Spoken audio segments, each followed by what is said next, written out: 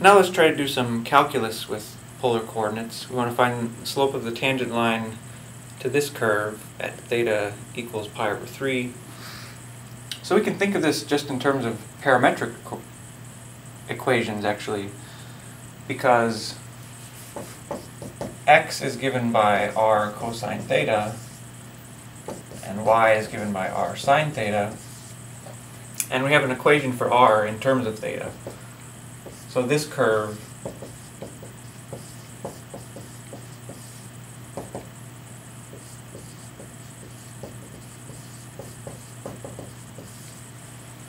this curve has these parametric equations. The parameter is theta.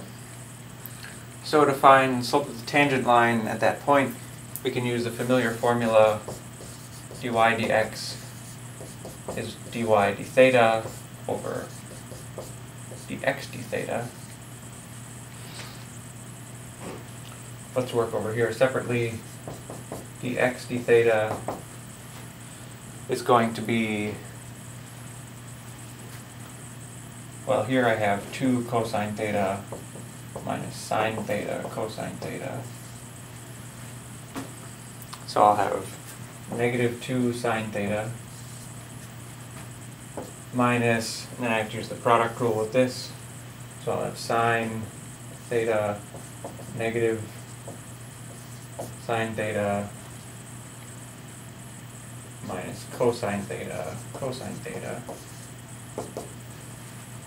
And this is just negative 2 sine theta plus sine squared minus cosine squared.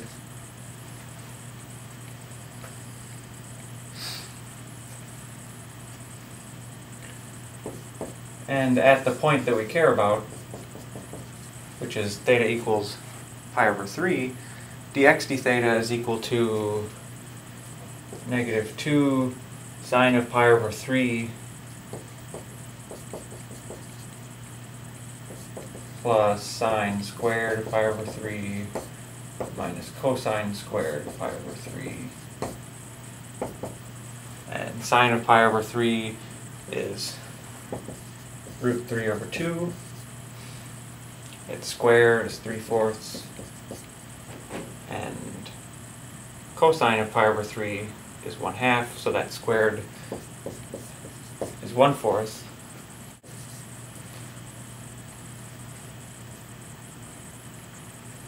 At, so at the theta value we're worried about, dx d theta comes out to be this. Now we do the same thing for dy d theta. So this is actually 2 sine theta minus sine squared theta. So the derivative will be 2 cosine theta minus 2 sine theta cosine theta. And at theta equals pi over 3, we get 2 cosine pi over 3, which is just 2 times 1 half minus 2 sine of pi over 3 was root 3 over 2. Cosine of pi over 3 was just a half. Or simplifying, we get 1 minus root 3 over 2.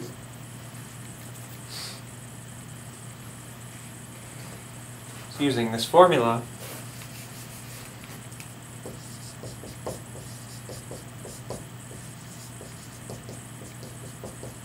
at theta equals pi over 3, the slope of the tangent line is this divided by this. And we can simplify this if we want.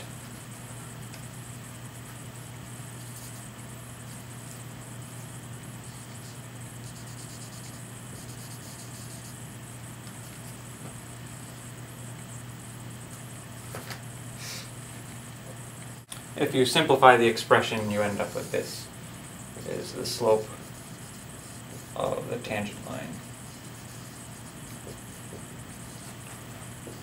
at theta equals pi over 3. So in this problem, let's try to find the points where the tangent line is horizontal or vertical. Recall when we were doing uh, parametric equations, we have a horizontal tangent line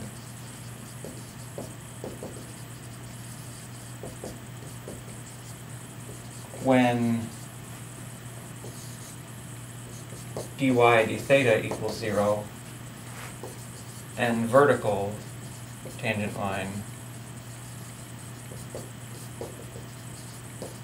when dx d theta equals 0. Now here x is r cosine theta, and an, an r in this case is cosine theta plus sine theta.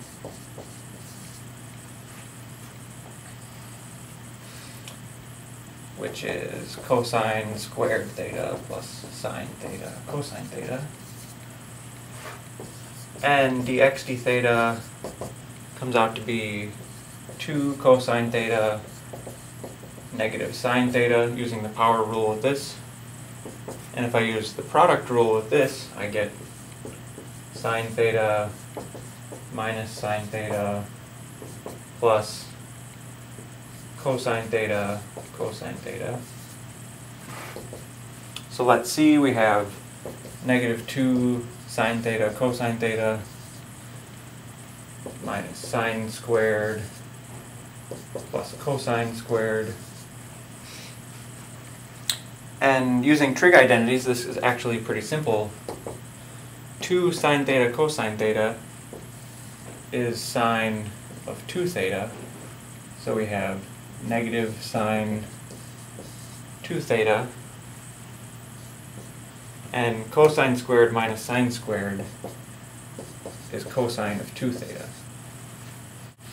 So this is dx d theta, and we have a vertical tangent when this is 0.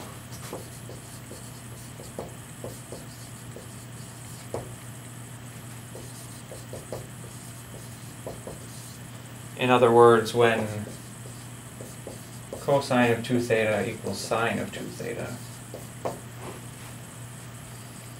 So this happens when when this angle So if you think about when cosine of A equals sine of A, that occurs on the diagonal here. So A is pi over 4 plus a multiple of pi. Because I have pi over 4, I can add pi to it, I can add pi again, I can add pi again, I can add pi again. So this says 2 theta is pi over 4 plus a multiple of pi. And dividing by 2, we see that theta is pi over 8 plus a multiple of pi over 2. So here k is allowed to be any integer, so it could be negative 3, negative 2, negative 1, 0, 1, 2, 3. Uh, maybe we just care about theta values between 0 and 2 pi.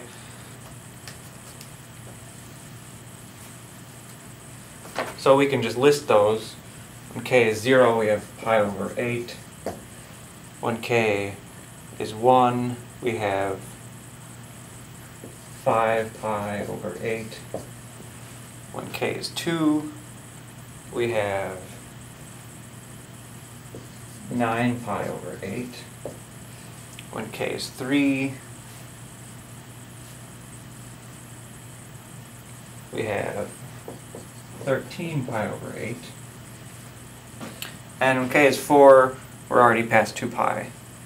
So these are the theta values between 0 and 2 pi. So you could take all multiples of 2 pi added to these to get everything. So that was vertical tangents